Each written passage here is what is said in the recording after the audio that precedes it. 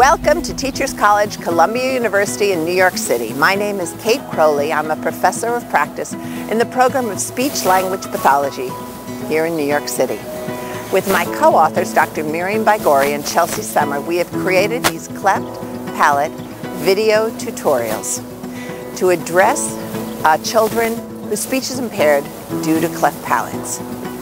In this module, we're going to look at a very important issue, which is why non-speech oral motor exercises do not work in speech therapy. Thank you. Um, this actually is a very um, difficult subject for many speech pathologists and speech therapists all over the world who somehow continue to believe that using non-speech oral motor exercises, that is, practicing sticking out your tongue, blowing, doing exercises as if your tongue were an arm, do not work for speech sound development. Used to be rampant, very, very common in the United States. I used to do them in the mid 90s because there wasn't the research that we have now about why they are a problem. We still have people in the United States that do them, even though in every book about cleft palate speech therapy they say do not do it. How, and in many countries outside of the United States, people do this. Just want to tell you, it, they do not work. And gonna, we're going to give you some questions and answers from a beautiful paper by Greg Lof and Maggie Watson. So we thank them very much for all their work in this area. So here's a series of questions and answers based on the research, with the research at the end, that you can use to address parents or other clinicians to say, why aren't you blowing um, cotton balls across a table? So there's no evidence that it works and it's a waste of time and money. Why does this matter? It matters because what we found in certain countries is that the surgeons have no time for speech therapists because they've given their cleft palate patients to speech therapists. And those speech therapists spend a year or two with money from the families to pay for their services doing non-speech oral motor exercises, nothing changes in the speech, and the surgeons believe that speech therapy doesn't work. So it really is negative for all those children who could benefit from quality speech therapy. Here we go. The SLP has my child practicing sticking her tongue in and out and side to side before working on speech. Is this a good idea? These non-speech movements will not help with speech because the parts of the brain that control movements for speech are different from the parts of the brain that control non-speech movements. It's a brain thing.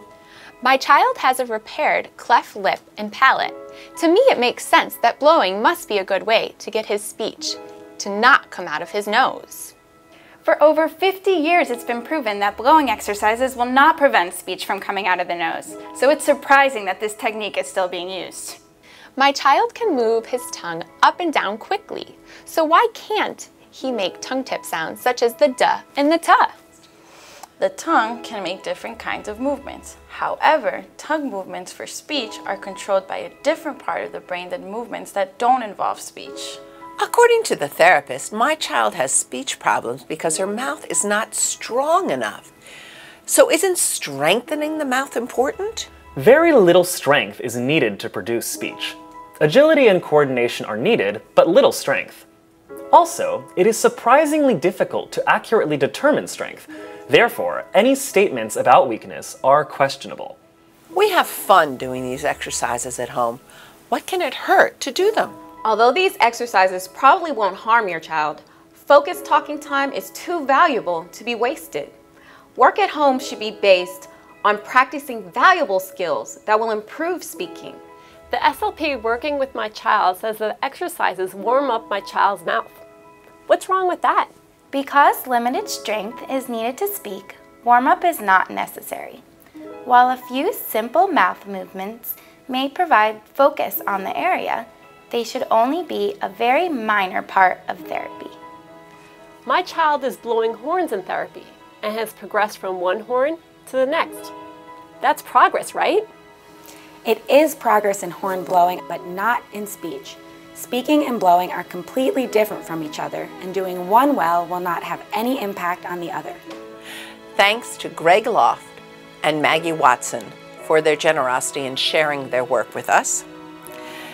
This concludes Module 3.7 that looked at the problems with non-speech oral motor exercises.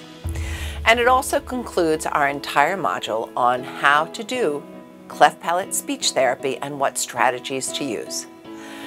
Our next module, Module 4, looks at what to do before the cleft palate is repaired, how to feed a baby with an open cleft, and what kind of speech therapy can be done before that cleft palate is repaired to ensure better speech after the surgery.